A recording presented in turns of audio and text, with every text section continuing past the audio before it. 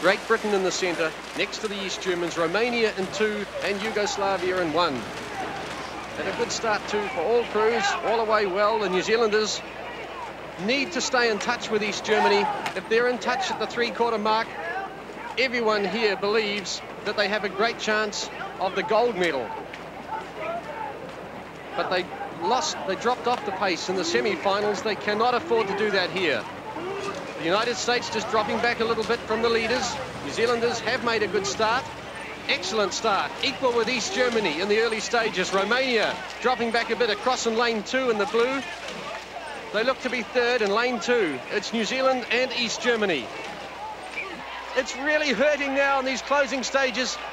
120 metres to go. East Germany lead. Romania second.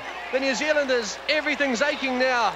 Hurting, but they're in the bronze position. They'll have to settle for bronze. East Germany win the men's coxed fours. Romania second, and New Zealand take the bronze in the coxed fours. Now they can rest. And that picture tells it all.